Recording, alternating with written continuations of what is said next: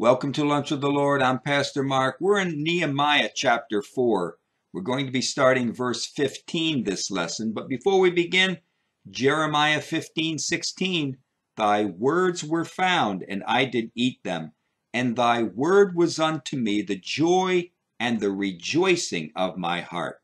Now, as we start here in verse 15, remember, we're uh, last lesson and this lesson here we're dealing with uh, verses 11 through 23 of this chapter that the Jews are preparing for battle. And we continue with that thought in mind. And we, we're going to read verses 15 to 18 and uh, see what happens here. And it says, And it came to pass when our enemies heard that it was known unto us, and God had brought their counsel to nothing, that we returned all of us to the wall, every one unto his work. And it came to pass from that time forth that the half of my servants worked in the work, and the others half of them held both the spears and the shields and the bows and the habergeons, and the rulers were behind all the house of Judah. They which builded on the wall and they that bear burdens with those that laded, every one uh, with, with one of his hands wrought in the work, and with the other hand he held a weapon. For the builders, every one had, had his sword girded by his side, and so builded. And he that sounded the trumpet was by me. Now, without swinging a sword or shooting an arrow, God gave these Jews the victory. And how did he do it? Because God answered their prayer back in verse 6. And he brought their conspiracy to nothing in verse 15, what we just wrote in verse, verse 15. This allowed the Jews to be able to get back to work on the wall, but this time precautions needed to be made. When, you know, when a backslidden Christian returns to the Lord and starts to build themselves up in the Word of God, that that Christian needs to approach the building process as not only continuing to build up their souls, but also as a defender of the wall. They need to build and to defend at the same time. Not only, not only do, uh, it's not just uh, backslidden Christians who are returning to God, but we ourselves, we need to be continuously guarding the walls of God's word that he has built in our heart, guarding these walls with his strength, not in our strength, but in his strength, praying and humbling ourselves to God that we can, that we can, that this wall, the wall of the word of God's word around our heart is, is built up and, and watched over against the enemy. But this is true with every single Christian. Prayer and fellowship and faith and God's word need to are, are, to be are to build up the wall of our heart. These are the things that help build up the walls in our heart.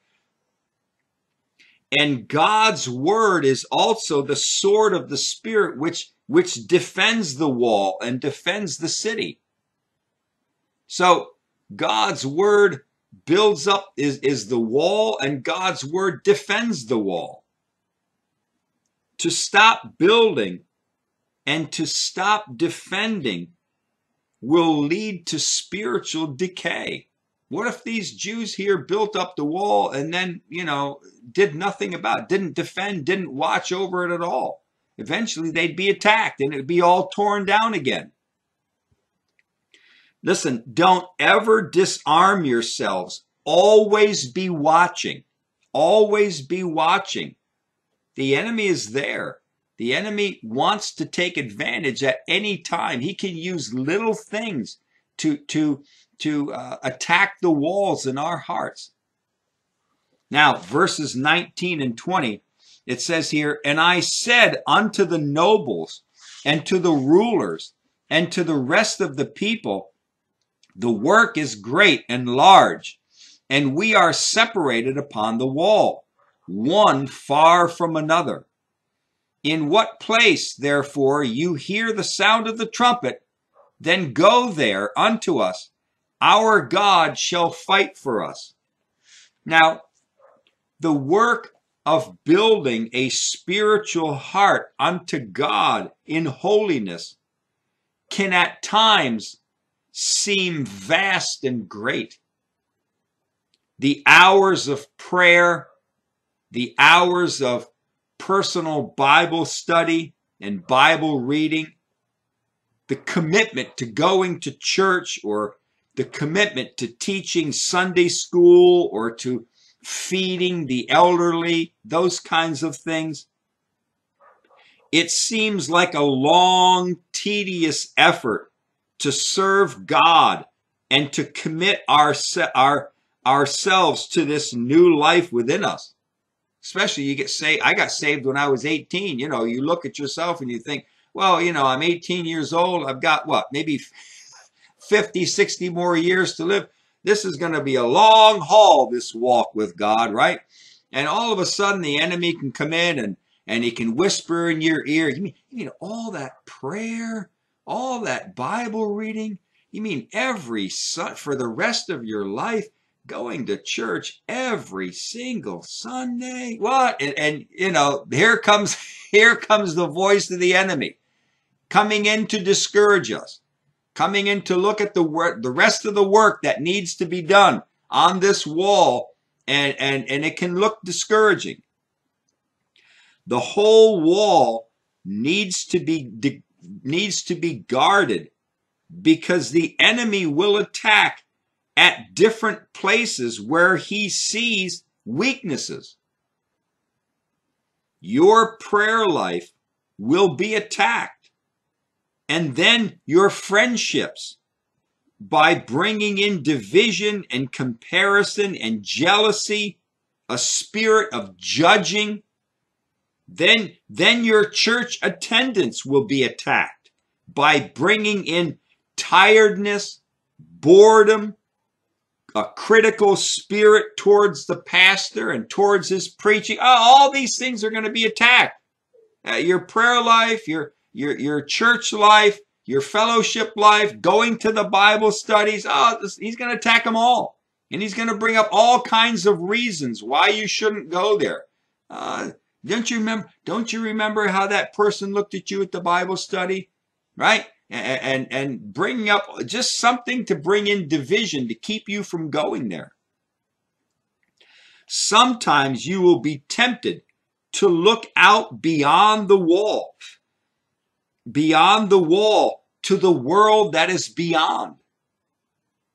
The pleasures and the riches of the world outside begin to get your guard down and to be drawn away from the work. Can you imagine those people on the wall as they're up there on the wall, they're guarding. Imagine them looking out into the into the to the distant land uh, around Jerusalem there. Boy, isn't that nice land out there? It's wonderful. And this is what hap- this is what happens to us. Sometimes we, we, we get tempted to look beyond the wall and, and, and to see and to get our guard down. And we think to ourselves, why am I struggling so hard building and guarding this wall when I can when I can leave it all behind and enjoy the life outside the wall? Why, the grass is greener on the other side. All I have to do is get down off this wall and I can go and enjoy life outside the wall. It's much easier out there. There's, there's not much opposition out there.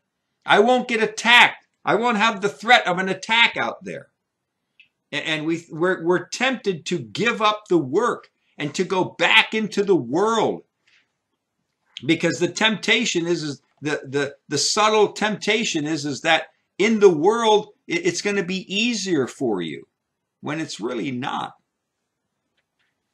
The enemy attacks at all points around our wall.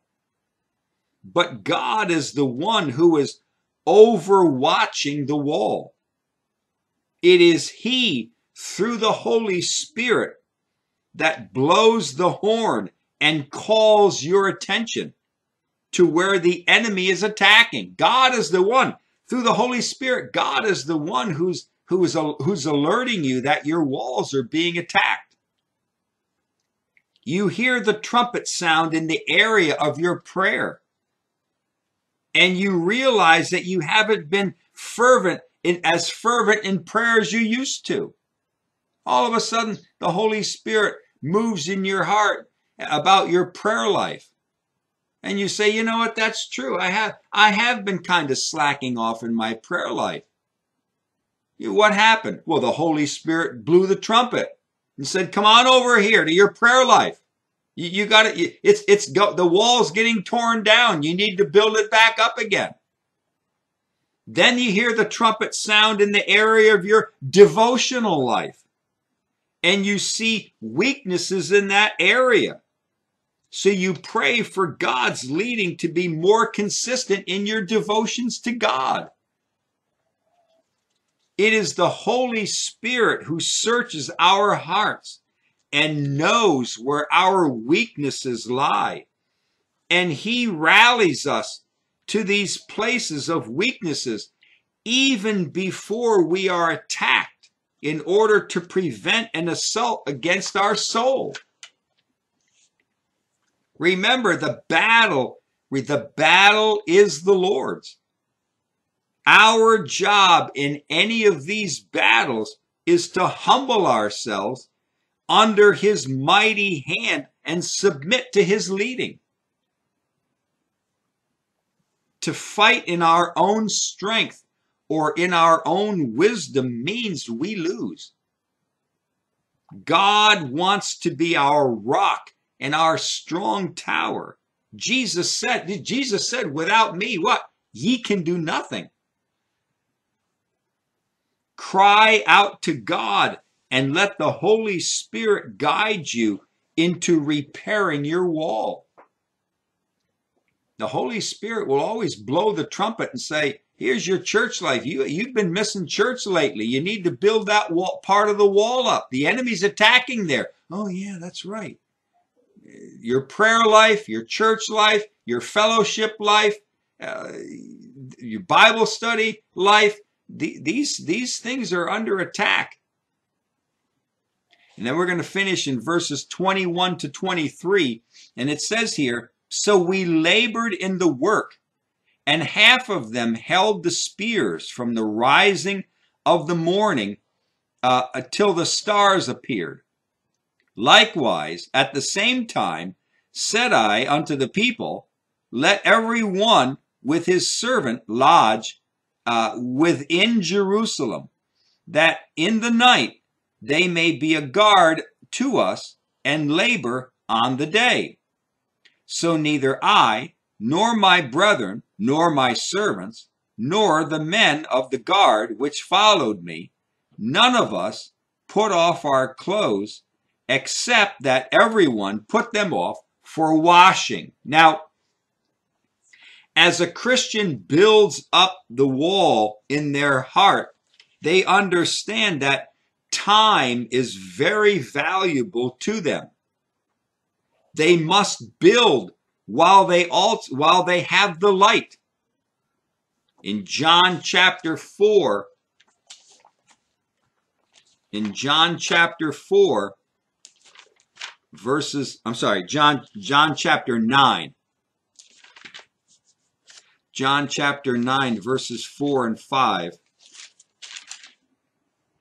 It says, I must work the works of him that sent me while it is day. The night comes when no man can work. As long as I am in the world, I am the light of the world. There is danger in leaving off the building till the day you die, Your soul depends upon it. Your soul depends upon you watching and praying over over your over over yourself watching and praying over your soul the, the, the walls of your heart verse 22 says don't leave the city vulnerable and go back to your go back to your neighboring towns. Verse 22 likewise at the same time said i unto the people let every one with his with his servant lodge where? Within Jerusalem that in the night they may be a guard unto us and labor on the day. So he's saying here don't go don't go home to these neighboring neighboring villages and towns don't go back into the world even for a little bit but lodge in the city your soul needs continuous attention, and you need to be occupied with your soul's welfare. Let the walls of God's word stand guard around you in the night times of your walk with God. Be occupied with the building blocks of God's promises in, in the morning. God, God has given us great and precious promises whereby our souls can be built up and strengthened in Him. In Lamentations chapter 3, verses 22 and 23, it says here, It is of the Lord's mercies that we are not consumed because His compassions fail not. They are new every morning. Great is thy faithfulness. Like, like marriage, our life with God is all day long. You can't just say, well, I'll be married, you know, from six in the morning till six at night, and that's it every day. No, marriage is continuous, night and day. To live within the walls implies a separation from the world outside. Are we willing to sacrifice our outside world that we may that we may gain Christ? Are we going to give ourselves to, to the Word of God? Are we going to give ourselves to this walk with God? Or are we going to uh, play with the world at the same time? Do we want to go in and out of the wall, in and out of our city? You go outside the city, you go out into this world, and you start playing with the things of this world. It's gonna, it's gonna tear your wall down. Verse 23 So neither I nor my brethren, nor my servants, nor the men of the guard which followed me, none of us put off our clothes except that we put them off for washing. Now, the need was very urgent. The priority of their life was finishing this wall.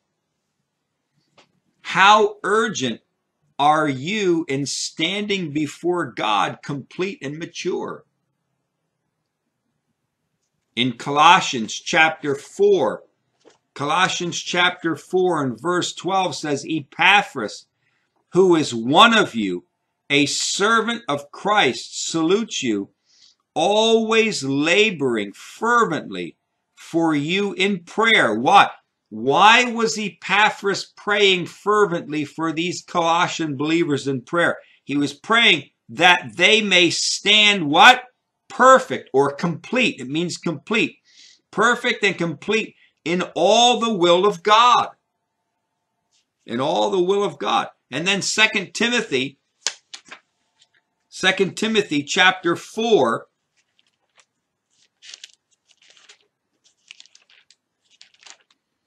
2 Timothy chapter 4 verses 6 and 7 and it says for I am now ready to be offered and the time of my departure is at hand.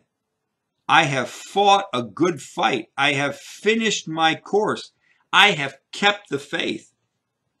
And Philippians chapter 3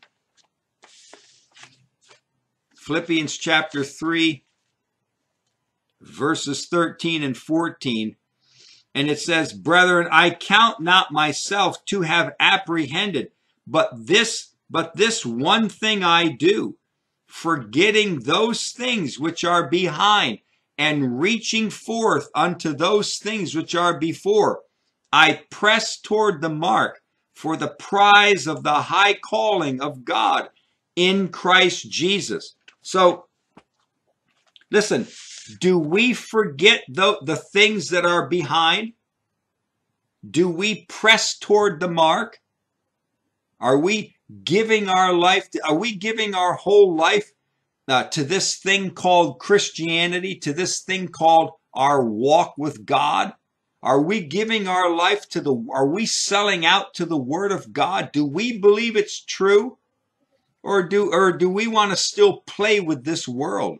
Do we still want to venture out beyond the walls of our city and go out into this world? No.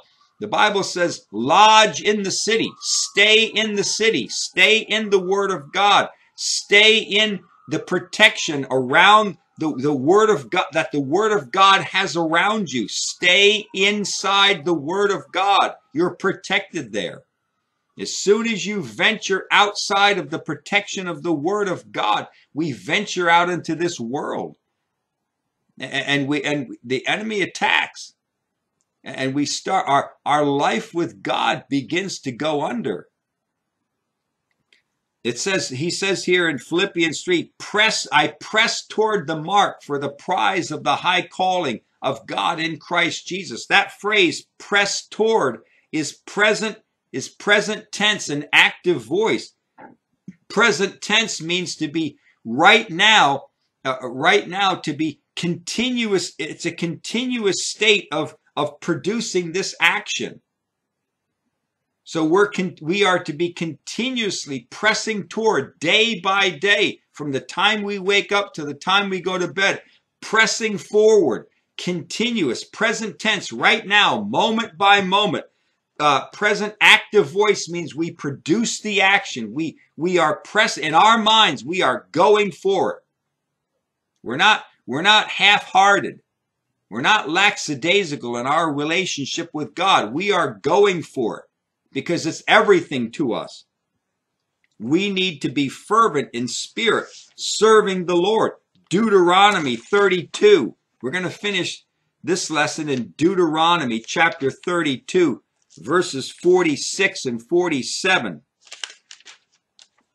And he says here, and I said, uh, and sorry, and he said unto them, set your heart, what? set your heart unto all the words which I testify among you this day, which ye shall command your children to observe to do all the words of this law. Why? Why? Verse 47. For it is not a vain thing for you. Listen, it is never empty and worthless for you to set your heart on the word of God. It is not empty. It is not worthless for any of us to, to give our hearts to the word of God. Why? Uh, for it is, it is not a vain thing for you. Why? Because it is your life. It is your life. The word of God is to be our life. The our, our prayer, pr praying to God, it is to be our life. Not this world, not the, not the green grass on the other side of the, of the, of the, of the wall. No, this is our life. The word of God is our life. For it is not a vain thing for you to set your heart on the word of God because it is your life. And through this, because of this thing, you shall prolong your days in the land where you go over Jordan to possess. Because of that, we will, we will have a prosperous, a prosperous, a blessed life in this, in this world. And this, the time that we've been given here by God, however long that is. So we set our hearts on the word of God. We stay in the city. We stay behind the wall. We don't venture out. We don't look from the wall out into the world and say, wow, it would be wonderful out there. Look at all the, look at all the flowers and all the sparkly things out there. It would be so much better to live out there than here. Here, I'm always, a threat of being attacked. No, no, no, no. Get behind the wall. Get behind the wall. Stay there in the Word of God and be protected. Why? Because it is to be our life. We are to set our minds on the things of God and on His Word and to live by the Word. All right, we're going to continue. We're going to start in chapter 5 next lesson. But until then, walk with the Lord. I know He walks with you.